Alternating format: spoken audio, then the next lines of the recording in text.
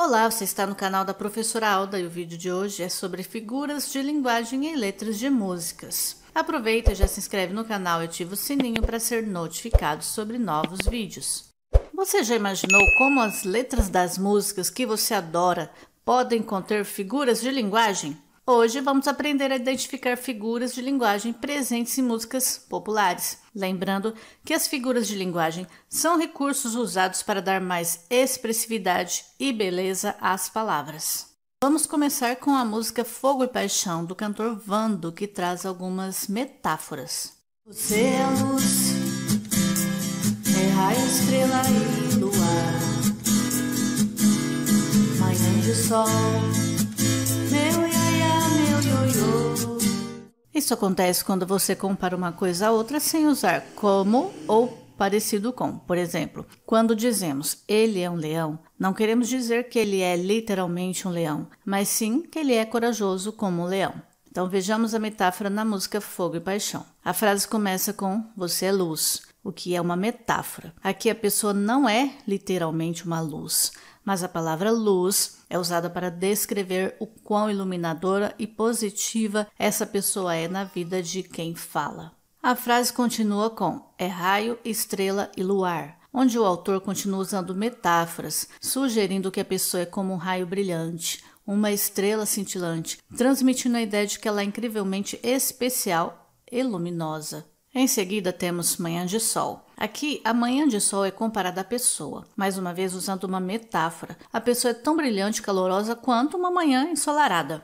A frase termina com meu iaiá, meu ioiô. Essas expressões carinhosas são uma forma de destacar o afeto e o carinho do autor pela pessoa, adicionando um toque pessoal e íntimo à declaração. E vamos analisar mais uma música, agora da banda Calypso, A Lua Me Traiu.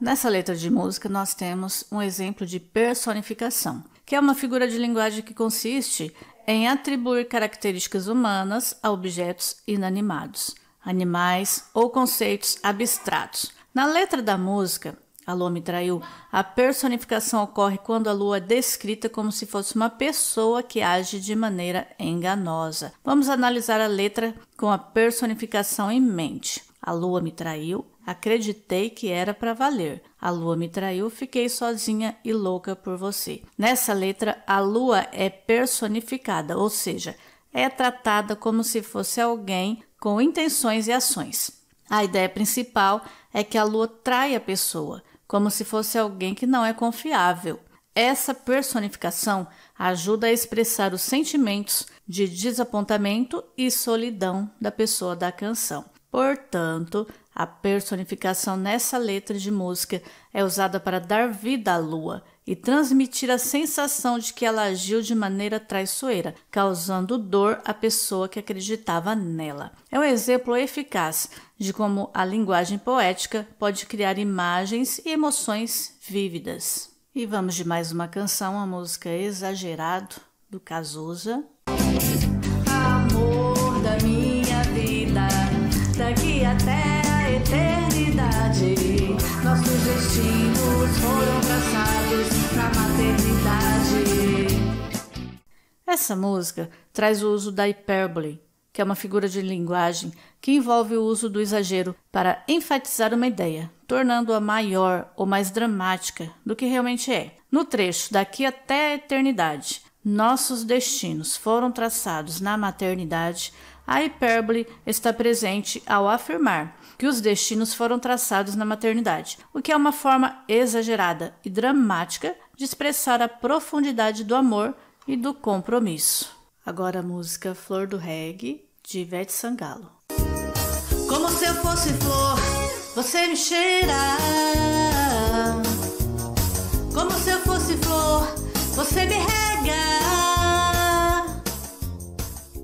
Nessa música, a figura de linguagem presente é a comparação. A comparação ocorre quando estabelecemos uma relação entre duas coisas diferentes usando palavras como, parecido com ou tal qual. Neste trecho da música, a figura de linguagem da comparação é usada para descrever a maneira como alguém cuida do outro, criando uma imagem poética.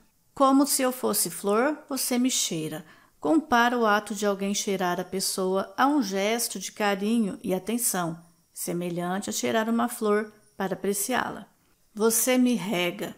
Continua a comparação, comparando o ato de cuidar da pessoa ao ato de regar uma planta para mantê-la saudável. Essa comparação é usada para transmitir a ideia de que o cuidado e a atenção do parceiro são como os cuidados que alguém daria a uma planta delicada e preciosa. É uma maneira poética e carinhosa de expressar o amor e o carinho na música. Vejamos agora a música da Elba Ramalho, Bate Coração. Oi, tum, tum, bate coração, oi, tum, coração pode bater. Oi, tum, tum, bate coração, que eu morro de amor com muito prazer. Nessa música, nós temos a figura de linguagem chamada onomatopeia, que consiste na imitação ou reprodução de um som associado àquilo que está sendo descrito. No trecho da música, as palavras tum, tum imitam o som dos batimentos cardíacos, o som característico que o coração faz ao bater. Essa repetição da onomatopeia tum-tum cria uma sensação de ritmo e enfatiza a importância do coração como símbolo do sentimento e da emoção, especialmente do amor na música. E vamos com mais uma música? Agora Certas Coisas do Lulu Santos. Não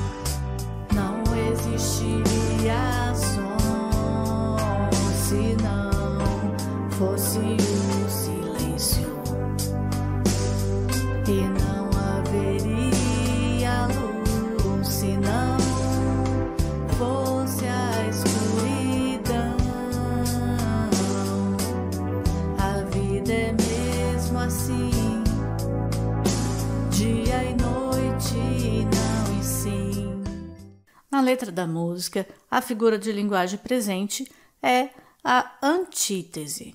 A antítese é uma figura de linguagem que envolve a apresentação de ideias opostas em uma mesma frase ou contexto, com o propósito de destacar o contraste entre essas ideias. No trecho, não existiria o som se não houvesse o silêncio, e não haveria luz se não fosse a escuridão.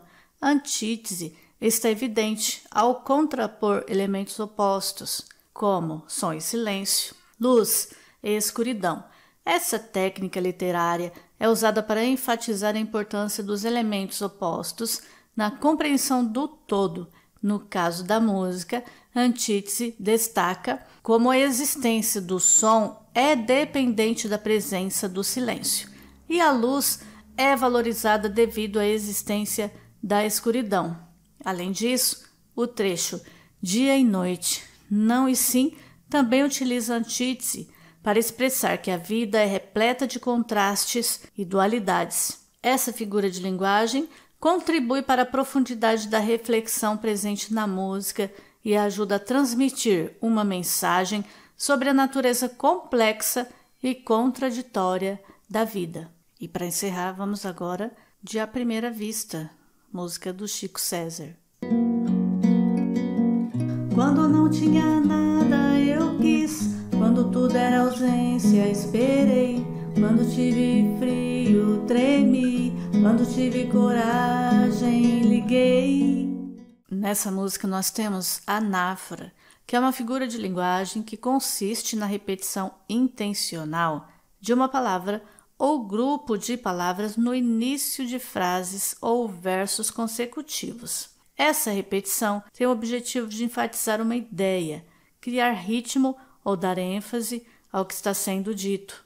No trecho, quando não tinha nada, eu quis, quando tudo era ausência, esperei, quando tive frio, tremi, quando tive coragem, liguei, a palavra quando é repetida no início de cada uma das frases, criando uma anáfora. Essa repetição destaca a sequência de eventos ou sentimentos que o autor está descrevendo.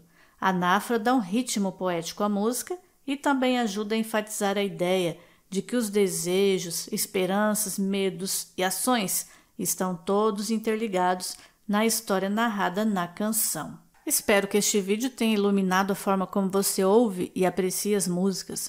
Agora que você conhece algumas figuras de linguagem comuns, desafio você a identificá-las nas músicas que você mais gosta. Pegue a sua playlist favorita e veja quais figuras de linguagem você consegue encontrar. Compartilhe suas descobertas nos comentários abaixo. Obrigada